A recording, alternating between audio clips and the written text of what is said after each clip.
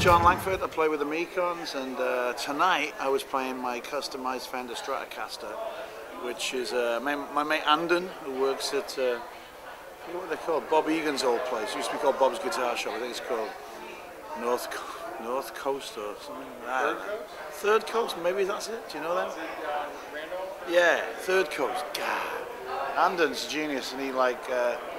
He asked me all these questions about the guitar and said, you know, I had this, I never had a Fender Stratocaster before, and I got this really great one at the Old Town School shop at a Different Strummer. Somebody left it there on consignment. It, it was quite old, but no one had ever, obviously, ever really played it or toured with it. It was, it was in pristine condition, but we, we ripped all the guts out of it and put a Seymour Duncan, some crazy Seymour Duncan pickup that had been like baked in clay and buried underground somewhere, you know, to make it look cool. But Andon told me it sounded really good, so I put that in, and we just, you know, he said, "Would you use all the pickups?" I said, "No, I only use one pickup. I need a humbucker." He says, "Do you use the tone control?" I'm like, "No, I never use the tone control. I only just want it to be like loud and dirty."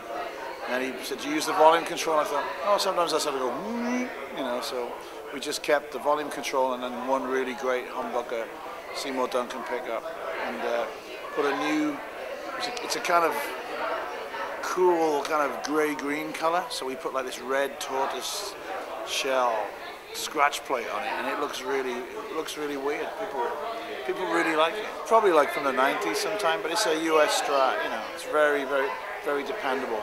And I'd used Squiers before, which are great, and I used Tokais when I lived in England which were great as well. But the Tokais, you don't see them in the U.S. that much. No, I had a Tokai which was fantastic. I mean, I've I've lost so many guitars and destroyed so many guitars over the years. It's kind of frightening. But That's what happens when you've done it. yeah, I never I haven't like done the Pete Townshend where I just stand and smash them up on stage, but I've, you know, tended to leave them by the stage door and someone's run off with them, or leave them leaning against the back of the car, then drive off, and they're not there when I get back a few have just been irreparably damaged by my playing. So, yes, I guess I'm just a Fender dude.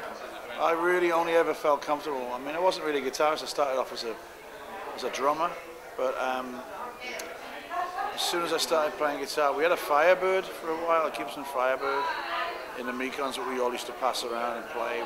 It was beautiful, but it wasn't, didn't feel right for me. I don't know. It's like I also because I'm a drummer.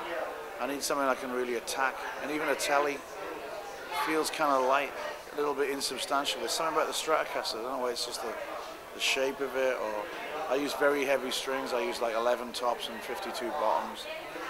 And, you know, Telecaster, you feel like you should be playing with George Jones or something. Exactly, yeah. And the, the Strat is just like, I don't know, you can really attack it.